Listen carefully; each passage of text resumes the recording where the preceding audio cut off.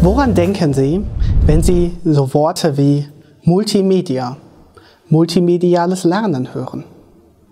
Was ist eigentlich Multimedia? Offensichtlich ein Video. Aber ist ein Buch, wo Text und Bild kombiniert werden, auch schon multimedial? In diesem Kapitel wollen wir uns genau diese Fragen stellen. Wo beginnt eigentlich Multimedia und welche Auswirkungen haben multimediale Inhalte auf das Lernen? Videos werden in Zukunft in Schule und Unterricht eine so große Rolle spielen, dass sie das Buch verdrängen. Das ist nicht meine Behauptung, sondern sie stammt vom amerikanischen Erfinder Thomas Edison. Er hat diese 1913 aufgestellt. Er hat sogar eine zeitliche Prognose gewagt, nämlich in zehn Jahren. Dass dies nicht ganz so gekommen ist, das wissen wir. Was sich seitdem verändert hat, wollen wir in diesem Kurs mal außen vor lassen. Aber wir sehen daran, wir beschäftigen uns mit dem Thema Multimedia im Lernkontext schon ziemlich lange. Berühmte Theorien wie die Medientheorie von Marshall McLuhan stammt aus den 60er Jahren des letzten Jahrhunderts.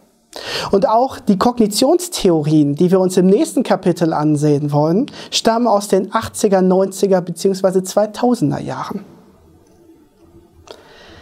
Wir sehen also, Multimedia hat eine deutlich längere Historie, als wir häufig ganz gerne annehmen. Wie funktioniert also multimediales Lernen? In welchen Kontexten sind multimediale Inhalte zum Lernen eigentlich förderlich? Die Corona-Pandemie hat dort einiges verändert. Schülerinnen und Schüler haben vermehrt online gelernt, sowohl synchron wie asynchron. YouTube ist zu einer immer wichtigeren Lernplattform geworden. Wenn Sie dazu etwas genauer nachlesen wollen, habe ich Ihnen hier drunter die sogenannte Gym-Studie verlinkt zum Mediennutzungsverhalten von Jugendlichen. Und ich möchte direkt einen Buchtipp weitergeben. Lernen und Lehren mit Tutorials und Erklärvideos von Dorgalo und Wolf. Das ist ein wirklich gutes Buch aus meiner Sicht, weil es einen tollen Überblick darüber gibt, wie Lernen funktioniert. Es ist von zwei Wissenschaftlern geschrieben, die dies aber für die Praxis schreiben und ganz viele Tipps und Tricks direkt dabei haben, die sie aus der Theorie ableiten. Das Buch habe ich Ihnen hier drunter verlinkt. Wir wollen jetzt erstmal damit starten, welche Formate es eigentlich gibt, die wir von multimedialen Inhalten, vor allem bei Videos, im Lernkontext häufig vorfinden.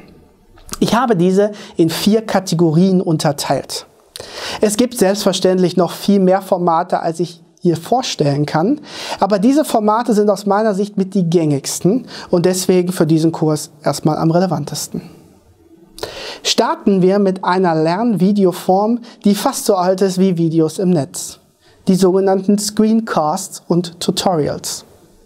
Sehr beliebt vor allem, wenn ein Programm oder eine Software gezeigt und erklärt werden soll. Dabei wird einfach der Bildschirm abgefilmt und eine Stimme spricht aus dem Off dazu.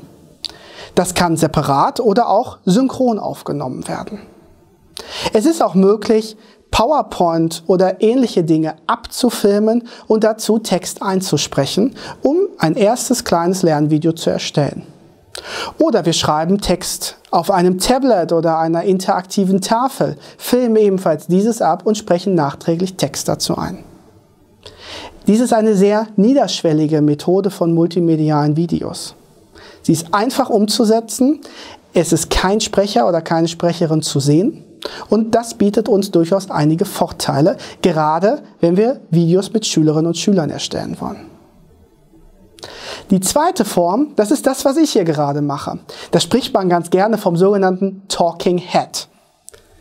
Ich spreche direkt zu Ihnen in die Kamera. Das kann zum Beispiel mit einem Teleprompter passieren oder wie jetzt in meinem Fall frei gesprochen. Wir kennen das aus verschiedensten Formaten. Berühmte Wissensvermittlerinnen auf YouTube, gerade eben auch im Edu-Kontext, nutzen dieses Format des Talking Heads. Aber auch bekannte Fernsehsendungen und Fernsehwissenssendungen arbeiten ganz gerne mal mit diesem Format, zumindest zwischen Einspielern.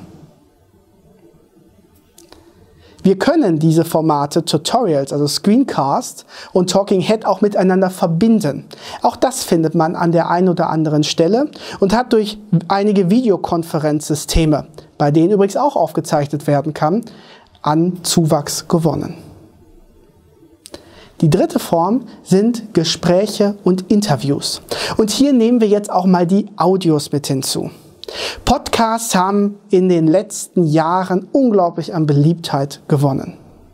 Sie bieten viele Vorteile. Ich brauche in Anführungsstrichen nur den Ton.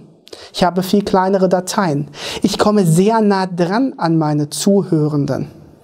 Wenn wir Podcasts zum Beispiel über Kopfhörer oder sogar in ihr Kopfhörer hören, dann können wir sagen, näher dran kommen wir eigentlich nicht an Lernende oder Zuhörende. Aber auch Video-Interviews und Gespräche spielen zum Lernen durchaus eine sehr spannende Rolle. Ich zeige in diesem Kurs auch noch Beispiele, wie Sie alleine durch eine kleine Kameraperspektive einen Interview-Eindruck erzeugen können. Und die letzte Form, die ich hier mit Ihnen besprechen möchte, sind Animationsvideos. Das meint sowohl echte Animationsvideos, also am PC erzeugte Animationen, als auch mit der Hand erzeugte Animationen. Die wohl einfachste Animation, die wir kennen, ist das Daumenkino, wohl auch die ursprünglichste.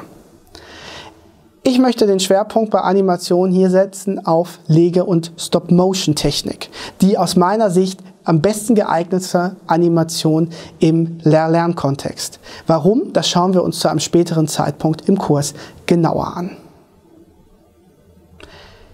All den Fragen rund um Multimedia wollen wir in diesem Kurs einen Schwerpunkt darauf setzen, nicht nur wie wir als Lehrperson Videos erstellen, sondern wie wir auch mit unseren Schülerinnen und Schülern Videos erstellen können. Das ist aus meiner Sicht etwas unglaublich Spannendes.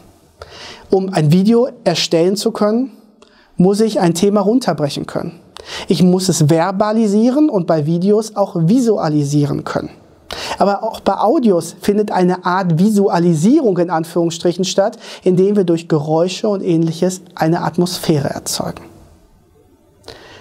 Mit Videos können wir also projektbasiert spannende Schülerprojekte ermöglichen. Und so kann das Video selbst zum Lerngegenstand werden.